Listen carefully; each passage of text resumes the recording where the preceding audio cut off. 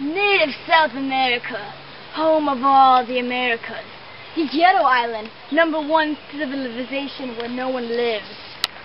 And here, here we see a tropical rain leaf, home of many kind. Yes.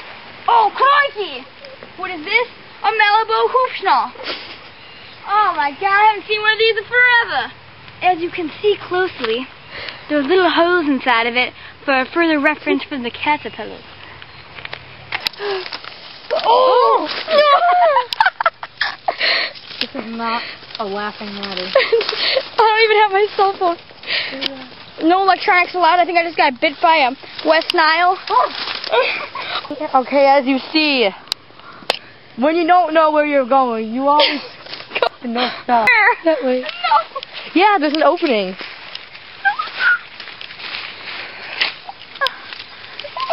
Go that way. We have to go that way.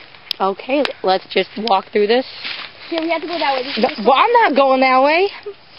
You can go. I'm. You can go. Oh, there's some more of those. Look, hey, they're freaking everywhere. Definitely not endangered. We're gonna be endangered. We tried this before. I have. In the winter. you- Just, oh God, there's a. Oh, crikey! Oh God, disgusting. Oh, it's Oh, a. the EAC! Oh, some. Look at that.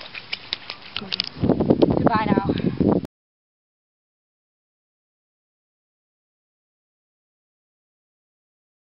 Mission complete! Crikey! My name is Walter E. Sanders.